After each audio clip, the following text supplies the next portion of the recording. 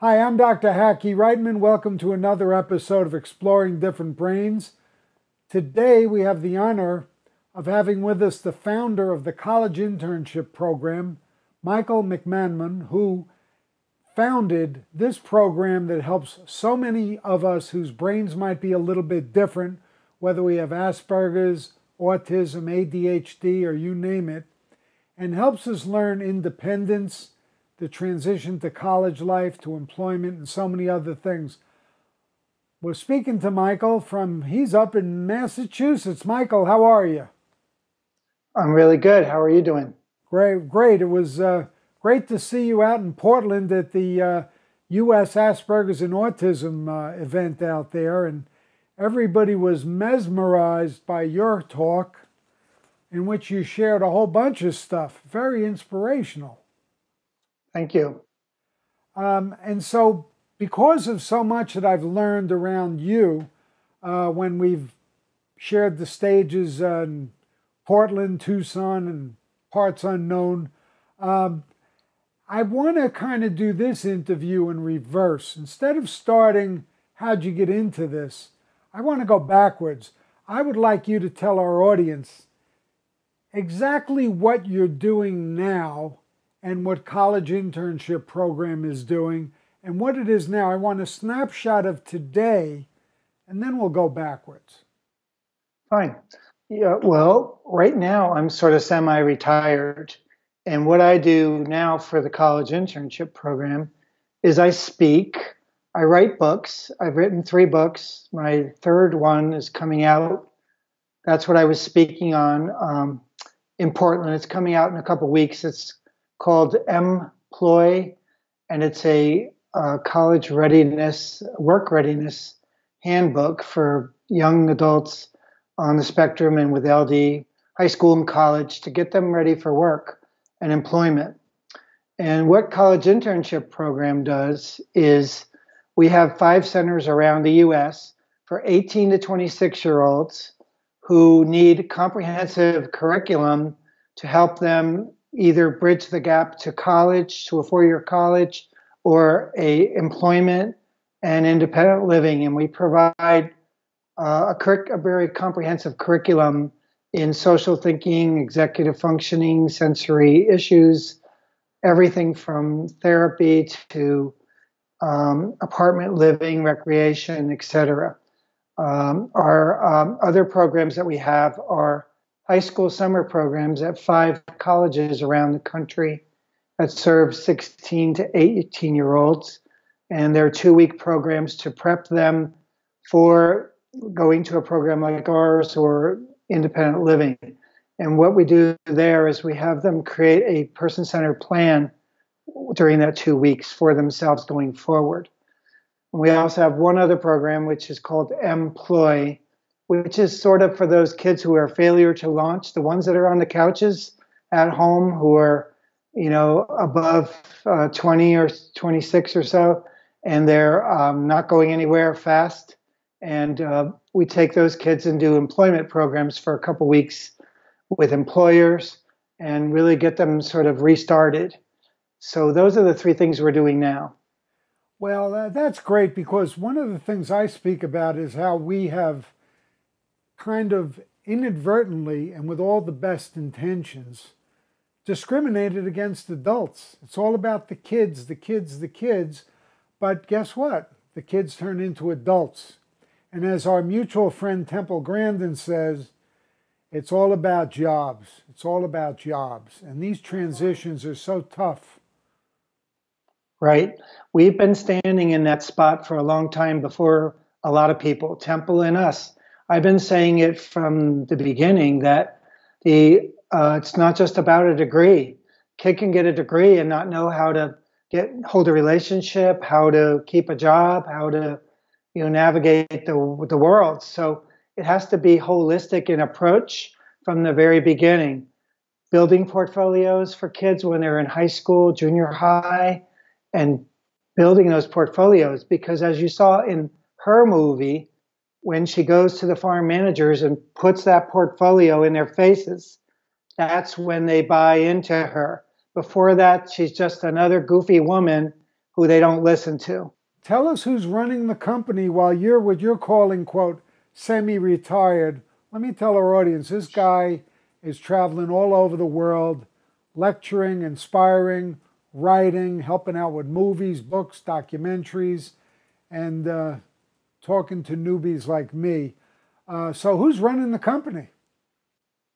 Well, I'm very fortunate to have a son who, you know, I took on trips with students who sort of just observed me, who sort of by accident got into our business when he was injured after college. And I said, why don't you do some work for us, uh, you know, with our website and work with our students on the weekends and the evening while you're looking for a job.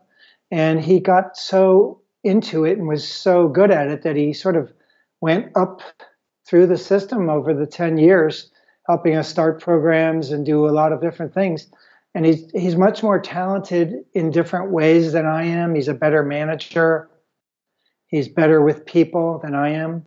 I'm I have different areas where I'm very high functioning, but my social and emotional stuff is still, you know, depending upon the time of day, I can uh, you know implode still. So I I'm not. I'm. He's much more neurotypical, and he can handle things better. So I'm very fortunate to have my son step into my shoes, and he's actually, you know, filling them very well. Well, it's interesting in the sense, the following sense also. When you describe the college internship program, then you describe yourself. In the college internship program, you say, well, Asperger's, autism, learning disabilities, ADHD, kind of mm. so on and so forth. And what we're doing at Different Brains is we're saying the principles that guide any good thing we're doing, whether it's the college internship program or tools we can use, such as Asper tools and stuff like that is not only good for Asperger's, autism, anxiety, bipolar, depression, sure. you name it, um, and that none of these things occur in isolation. So I know what you shared with the thousand people who are with us out in Portland, and I wonder how much you would care to share with our different brains audience about all the different for lack of a better term, I'll say comorbidities, labels that you, Michael, the founder of the college internship program, who's helping so many people, how would you have labeled yourself? Well, I definitely a horse of a different color.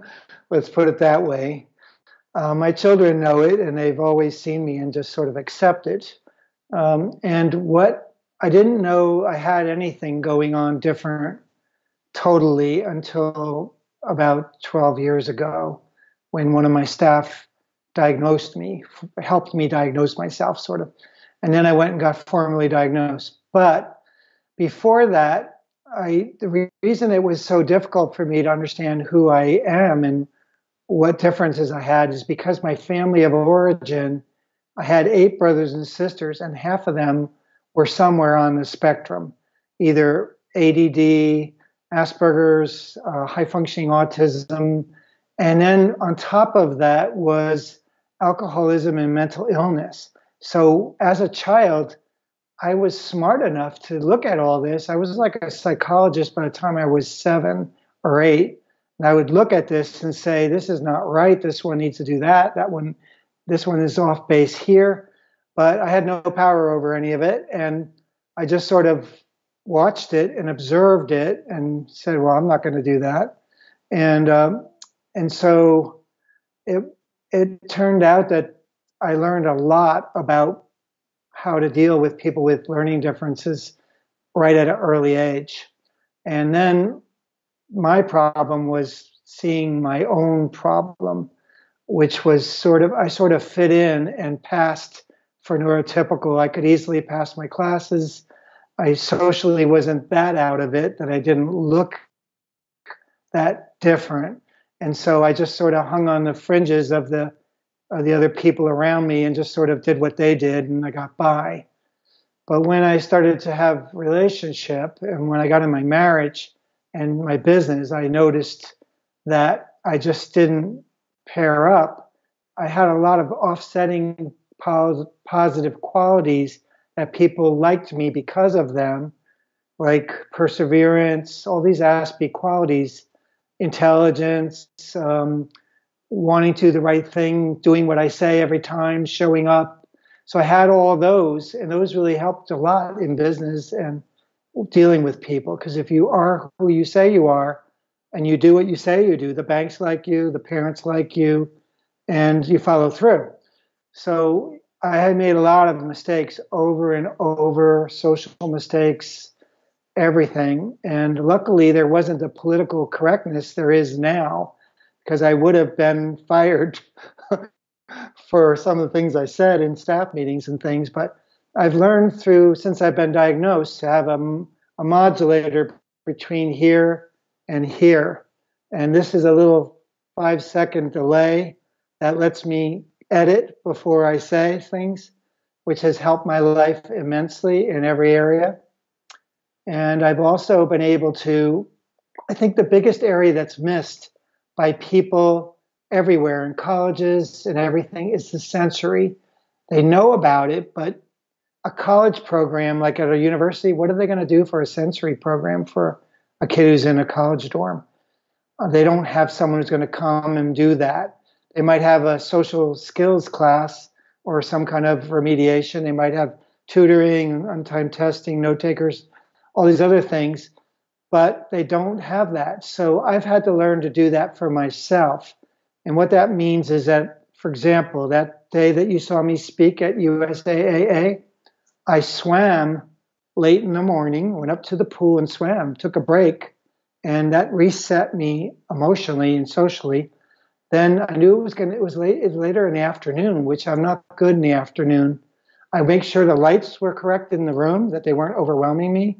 I checked out way in the morning all of the audio stuff to make sure because if I had a problem, I would get flustered. And so I do a lot of prep work for myself. I make sure I, you know, wear comfortable clothes around my neck, that I, um, you, you know, ate before the presentation. I had a power bar with a lot of protein in it that I just downed right before it. I took extra vitamins during the middle of the day. So I do all of these things to help myself be at my best. And actually, my buddy Stephen Shore sort of taught me some of that. The way he does airplanes and navigates the world is amazing. And he knows how to judge exactly when it's going to land, how much sleep he should get, everything. So I've been able to be in the big boys table for the last 10 years because I because I can keep myself in reasonable condition. Because if I start saying stupid stuff or even expletives, you know, I then it's all over for me. So I have to be very careful. Well, you know, it, I, I feel so lucky because I get to learn from and hang around with and share the stage with people who are far, far, way, way in a different league than me such as we're just talking about tonight. Matter of factly, we're talking about a great man like Stephen Shore, who's been on every continent except maybe one, I think, and lectured Antarctica. all over the world. I don't think he's lectured on Antarctica yet. Yeah, I think that's his only one. And there was a guy who was nonverbal, told he should be institutionalized. And then there's, exactly. of course, Temple Grandin. Then there's you. I mean, it's a very rarefied club that you guys are in, and I recognize um, happily that I'm that I'm just glad to be around that club, you know. And sure, and, a lot of my I owe my Stephen's mother did that for him and created his own preschool for him. My mom had so many kids that she couldn't do that, but but what did do that for me was Catholic school because of the structure and most of the teachers. I only had one who was um, hell on wheels, but the rest of them were very supportive. And even I had a couple, um, like a brother in seventh grade, who I still have contact with, sort of like Temple has contact with her high school teacher that helped her. My seventh grade teacher was only a few years older than me. When he taught me. And so I still have contact with him. He's in all of my books. He was my mentor and he guided me through some of the most difficult stuff in my family life. He didn't even know it until I told him later how his his standing for me was so important emotionally for me. And so that's like something I would like to say to people out there. You don't realize how important each child needs a connection like that where they can go to someone. In my family, there was no one to go to. It was all a secret what was going on. So I had no one to talk to about anything. And that you take that into you, it becomes like part of your being, and then you have to get rid of it somehow or emote from it. And being Asperger's, I didn't emote. I didn't cry. I didn't I didn't do much of that stuff. So it all was absorbed, came out later, much later than most people, like not in my teens, more in my 30s and 40s, when I started to go through my adolescence, my emotional adolescence, which is not good for your marriage, by the way. How many have you had? What's that? How many marriages have you had? Uh, two. But you know what? I've given myself permission to I said, Michael, you're an extremely creative person who is difficult to live with. And I gave myself permission that it's all right. And I have these six children and 17 grandchildren, and it's more than enough to keep me busy. And, I'm, you know, and I'm friends with all the people I've been in relationship with. It was a unique experience for them, but we're still friends. And I share children with one of them, you know. So, well, that's how life's supposed to be. It's a journey, yeah, not a destination. We're all learning, and um, we learn how to be nice to each other, which is a novel sure. idea. When in doubt, be nice. Um, exactly. And you're certainly a lucky man to have such a large extended family, uh, and sure. take all the things you learn and impart that knowledge to other. You know, to all of our different brains audience out there who might be volunteers or teachers or coaches. What Michael just said about the mentoring process, just somebody who gets it, who understands, who takes the time that Michael and I want all of society to do to tune in on that individual different brain. And remember this oftentimes, the individuals who have it most difficult are the ones who can, quote, pass for, quote, neurotypical, whatever that is, as Michael was saying exactly. about himself. Yeah, yeah. It's not like if you're an amputee, well, you're missing a leg, um, or if you're severely this or that or anything. This is an intelligent person, and this is very frequent in, let's say, high functioning Asperger's and high functioning autism. Yeah, and I, I would say to add to that, I would say every corporation, every business needs an Aspie like me because what they can do for them is bring a unique perspective and that's what you want. You, you want to like double check yourself say hey what's different ways of doing it, these things? They bring that to them. I also wanted to add something to what we were talking about before here are some of the qualities of an Aspie that play out really well as a dad, as a business owner, even in a relationship. And they really, I mean, other than the confounding ones. For example, paying your bills on time all the time. I can go to the bank and they'll do anything for me. I've uh, never had a loan refused for a building, for anything we're doing with our business. I paid all my kids' college to, uh, bills off so they don't have to carry those with them. I help them buy houses, start businesses. This is because fundamentally I do things in a very, you know, uh, structured way. And I run my money and I use it well and I don't waste it. And I'm on time for everything. You know, all these things like this add up to really good qualities. I never forget a birthday of any of my children. I have a personal gift, probably have half of them already for Christmas for those 17 grandchildren and those six children and their wives and husbands. And so it's things that we do that are offsetting qualities if a spouse can see through that. They get all these other good things that come with the relationship. They might get someone that doesn't recognize if they stepped on their toes emotionally immediately, and that's a problem. But they get all these other things that I think are offsetting qualities. A lot of our audience is going to want to get in touch with you. How do they best oh, get sure. in touch with you and learn more about you and the college internship program? Well, they're not going to call me and not going to text me, but they're good. They can use my email, which is M McManmon, my last name, which is M C M A N M O N. It's a tongue twister, so um, it's you can look at our website and get a hold of me, which is collegeinternshipprogram.org, and there's there's all my stuff is on there, and you can see what watch all the videos and do whatever you want so basically, yeah, you can get me through the website. That's probably the easiest. And um, I do have a blog on psychology today. That's pretty, you know, it's there still. If you want to, that's another way. Uh, where can people learn more about your new and upcoming book and your other books and other things you've done? Oh, yeah. Um, just go to Jessica Kingsley Publishers. All my books are through her. The third one is coming out soon. Uh, like I said, the next couple weeks they're all on Jessica Kingsley Publisher, you know, dot com. She's in the UK and in, in Philadelphia, so they're all worldwide. And it's um, it's real simple. Or you can just go on Amazon.com if you want to save money. and I shouldn't say that, but uh, and you can get them used. Uh, and just Google my name, and you'll get you'll get it all.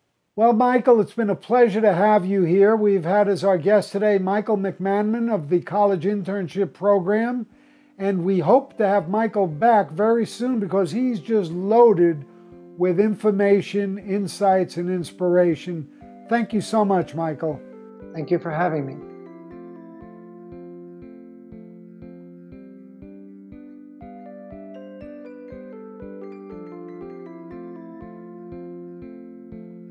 Exploring Different Brains is a production of Different Brains, Inc. For more information, visit us at differentbrains.org.